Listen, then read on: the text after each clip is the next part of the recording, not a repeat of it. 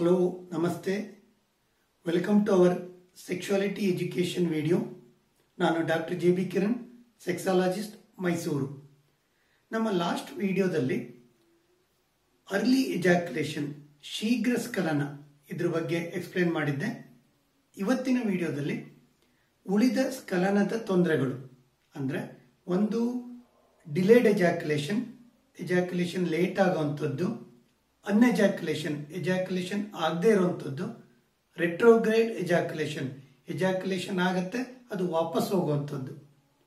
So ಈ ವಿಡಿಯೋನ ಕಂಪ್ಲೀಟಾಗಿ ನೋಡಿ ಸಬ್ಸ್ಕ್ರೈಬ್ ಆಗಿ, ಮತ್ತೆ ಶೇರ್ ಮಾಡಿ. ಫಸ್ಟ್ ಒನ್ ಡಿಲೇಡ್ ಎಜಾಕ್ಯುಲೇಷನ್ ಅಂದರೆ, ಕೆಲವೊಂದು ಕಪ್ಪಲಲ್ಲಿ ಏನಾಗುತ್ತೆ, ಒಂದು sexual intercourse more than thirty minutes ಆಗತ್ತೆ. ಸೊ ಅದರಿಂದ ಆ ಡಿಲೇಡ್ ಎಜಾಕ್ಯುಲೇಷನ್ ಎಷ್ಟೋ ಒಂದು ತೊಂದರೆಗಳನ್ನ ಕೊಡುತ್ತೆ. ಈ ಡಿಲೇಡ್ ಎಜಾಕ್ಯುಲೇಷನ್ ಅಲ್ಲಿ ಟೂ ಟೈಪ್ಸ್ ಅಂತ ಹೇಳ್ತೇವೆ. ಒಂದು ಲೈಫ್ ಲಾಂಗ್ ಇನ್ನೊಂದು ಟೆಂಪ್ರರಿ ಈ ಲೈಫ್ ಲಾಂಗ್ ಅಂದ್ರೆ ಫ್ರಮ್ ದ ಬಿಗಿನಿಂಗ್ ಎಜಾಕ್ಯುಲೇಷನ್ ತುಂಬಾನೇ ಲೇಟ್ ಆಗುವಂಥದ್ದು.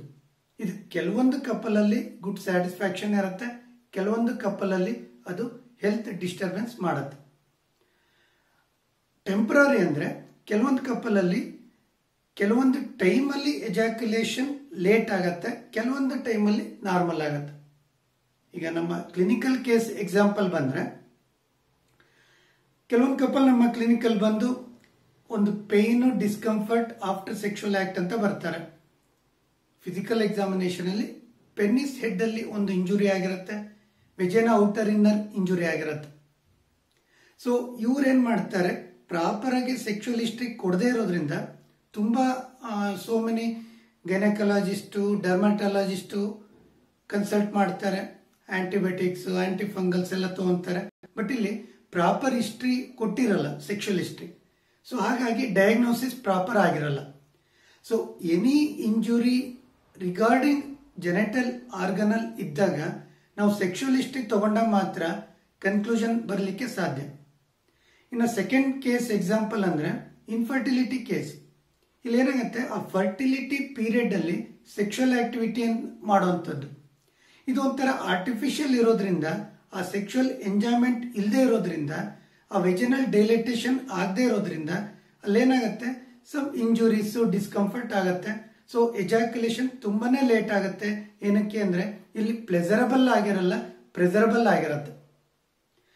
ನೆಕ್ಸ್ಟ್ ಬಂದು ಅನ್ಎಜಾಕ್ಯುಲೇಷನ್ ಅನ್ಎಜಾಕ್ಯುಲೇಷನ್ ಅಂದ್ರೆ ಯಾವುದೇ ಸೆಕ್ಷುವಲ್ ಇಂಟರ್ ಕೋರ್ಸ್ ಅಲ್ಲಿ ಎಜಾಕ್ಯುಲೇಷನ್ ಆಗದೆ ಇರುವಂತದ್ದು ಇಲ್ಲೂ ಸಹ ಟೂ ಟೈಪ್ಸ್ ಇದೆ.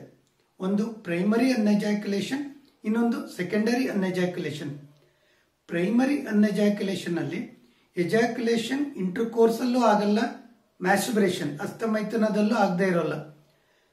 ಸೆಕೆಂಡರಿ ಎಜಾಕ್ಯುಲೇಷನ್ ಅಂದ್ರೆ ಅಸ್ತಮೈಥುನ ಮ್ಯಾಸ್ಟುಬ್ರೇಷನ್ ಅಲ್ಲಿ ಎಜಾಕ್ಯುಲೇಷನ್ ಆಗತ್ತೆ ಬಟ್ ಸೆಕ್ಷುವಲ್ ಇಂಟರ್ ಕೋರ್ಸ್ ಅಲ್ಲಿ ಎಜಾಕ್ಯುಲೇಷನ್ ಆಗಲ್ಲ. ಈ secondary ejaculation most of the time psychological ಇರತ್ತೆ. ಕ್ಲಿನಿಕಲ್ ಎಕ್ಸಾಂಪಲ್ ಬಂದ್ರೆ ಇಲ್ಲೂ ಸಹ ಇನ್ಫರ್ಟಿಲಿಟಿ ಕೇಸಸ್ ಅಲ್ಲಿ ಅನ್ಎಜಾಕ್ಯುಲೇಷನ್ ತುಂಬಾ ಕಾಮನ್ ಆಗಿರುತ್ತೆ.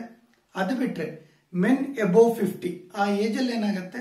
ಪ್ರೋಸ್ಟೇಟ್ ಇಶ್ಯೂಸ್ ಇದ್ದಾಗ ಅಥವಾ ಪ್ರೋಸ್ಟೇಟ್ ಟ್ರೀಟ್ಮೆಂಟ್ ಅಲ್ಲಿ ಇದ್ದಾಗ ಅನ್ಎಜಾಕ್ಯುಲೇಷನ್ ವೆರಿ ಕಾಮನ್ ಇರುತ್ತೆ.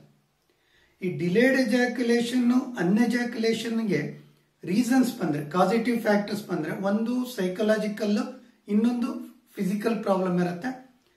ಕಾಮನ್ ಆಗಿ ಸೈಕಲಾಜಿಕಲ್ ಇಶ್ಯೂಸ್ ಇದ್ದೇ ಇರುತ್ತೆ. ಅಂದ್ರೆ ಒಂದು ಪರ್ಫಾರ್ಮೆನ್ಸ್ ಆಂಗ್ಸೈಟಿ ಇರುವಂತದ್ದು ಒಂದು ಬಾಡಿ ಇಮೇಜ್ ಪ್ರಾಬ್ಲಮ್ ಇರುವಂತದ್ದು ಇನ್ನೊಂದು relationship issues especially forcible marriage ಆಗಿರುತ್ತೆ.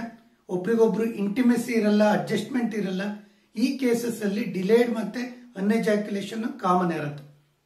ಫಿಸಿಕಲ್ ಇಶ್ಯೂಸ್ ಬಂದ್ರೆ, ಒಂದು ಪೆಲ್ವಿಕ್ ನರ್ವ್ ಇಂಜುರಿ ಆದಾಗ ಅಥವಾ ನ್ಯೂರಲಾಜಿಕಲ್ ಇಶ್ಯೂಸ್ ಈ ಡಯಾಬಿಟಿಕ್ ನ್ಯೂರೋಪತಿ ಇದ್ದಾಗ ಪ್ರೋಸ್ಟೇಟ್ ಇಶ್ಯೂಸ್ ಇದ್ದಾಗ ಇದು ವೆರಿ ಕಾಮನ್ ಇರುತ್ತೆ.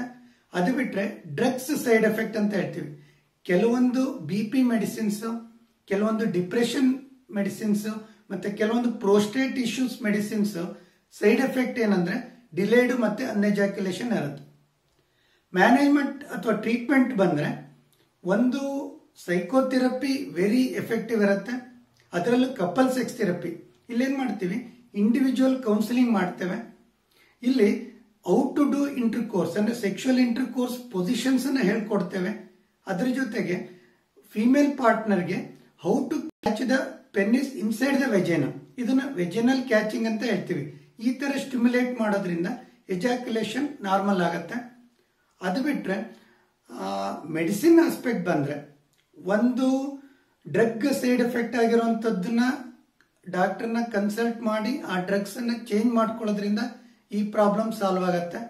ಅದರದೇ ದೆನ್ ನಮ್ಮ ಒಂದು ಆಯುರ್ವೇದಿಕ್ ಅಲ್ಲಿ ಹೈಲಿ ಸ್ಟಿಮ್ಯುಲೇಟಿಂಗ್ ಡ್ರಗ್ಸ್ ಈ ಗೋಕ್ಷೂರ, ಮಂಡುಕಪಣ್ಣಿ, ಅಶ್ವಗಂಧ ಈ ಮೆಡಿಸಿನ್ ಕೊಡೋದ್ರಿಂದ ಮೈಂಡು ಮತ್ತು ಬಾಡಿಗೆ ಆ ಸ್ಟಿಮ್ಯುಲೇಷನ್ ಜಾಸ್ತಿ ಆಗುತ್ತೆ.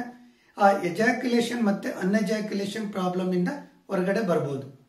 ನೆಕ್ಸ್ಟು ರೆಟ್ರೋಗೈಡ್ ಎಜಾಕ್ಯುಲೇಷನ್ ಇದು most of the time physical causes ಆಗೋದು.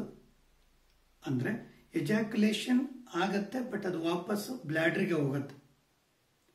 ನಾರ್ಮಲ್ ಮೆಕ್ಯಾನಿಸಮ್ ಹೇಗೆ ಅಂದರೆ during the ejaculation urinary bladder neck close ಆಗಿ ಅದು ಪೆನ್ನಿಸ್ ಮುಖಾಂತರ ಎಜಾಕ್ಯುಲೇಟ್ ಆಗುತ್ತೆ. ಬಟ್ ಈ ಪ್ರಾಬ್ಲಮ್ಮಲ್ಲಿ ಆ ಯುರಿನರಿ ಬ್ಲ್ಯಾಡರ್ ನೆಕ್ ಪ್ರಾಪರಾಗಿ ಕ್ಲೋಸ್ ಆಗದೆ ಇರೋದ್ರಿಂದ ಆ ಸ್ಪರ್ಮ್ ಬ್ಲ್ಯಾಡರ್ಗೆ ಹೋಗುತ್ತೆ. ಸೊ ಇದು most of the time physical causes ಅಥವಾ ಬೆಲ್ವಿಕ್ ಇಂಜುರಿ ಅಥವಾ ಸರ್ಜರೀಸು ಅಥವಾ ಬ್ಲ್ಯಾಡರ್ ಇಶ್ಯೂಸ್ ಮೀನ್ಸ್ ಪ್ರೋಸ್ಟೇಟ್ ಏನಾದರೂ ಇಶ್ಯೂಸ್ ಬಗ್ಗೆ ಮೆಡಿಸಿನ್ ತಗೊಂಡಾಗ ಸೈಡ್ ಎಫೆಕ್ಟ್ ಆಗುತ್ತೆ. ಹೈಪರ್ ಟೆನ್ಷನ್ ಕೆಲವೊಂದು ಮೆಡಿಸಿನ್ ಸೈಡ್ ಎಫೆಕ್ಟ್ ಆಗುತ್ತೆ. ಇದನ್ನು ಫೈಂಡ್ ಔಟ್ ಮಾಡೋದು ಹೇಗೆ ಅಂದ್ರೆ ಯೂರಿನ್ ಟೆಸ್ಟ್ ಮಾಡಿದಾಗ ಇಟ್ಸ್ ಲೈಕ್ ಕ್ಲೌಡಿ ಇರುತ್ತೆ, ಅಂದರೆ ಸ್ಪರ್ಮ್ ಕಂಟೆಂಟ್ ಜಾಸ್ತಿ ಇರುತ್ತೆ. ಸೊ ಇದಕ್ಕೆ ಮ್ಯಾನೇಜ್ಮೆಂಟ್ ಅಂದರೆ ಒಂದು ಮೆಡಿಸಿನ್ ಚೇಂಜ್ ಮಾಡುವಂಥದ್ದು, ಇನ್ನೊಂದು ಗುಡ್ ಯೂರೋಲಜಿಸ್ಟಿಗೆ ಕನ್ಸಲ್ಟ್ ಮಾಡುವಂಥದ್ದು. ವೀಕ್ಷಕರೇ, ಇದು ಇವತ್ತಿನ ನನ್ನ ವಿಡಿಯೋ ನಮ್ಮ ಸೆಕ್ಷುಯಾಲಿಟಿ ಎಜುಕೇಷನ್ ವಿಡಿಯೋಸಲ್ಲಿ ಇದ್ರ ಬಗ್ಗೆ ಅವೇರ್ನೆಸ್ ಕೊಡ್ತಾ ಹೋಗ್ತೀವಿ.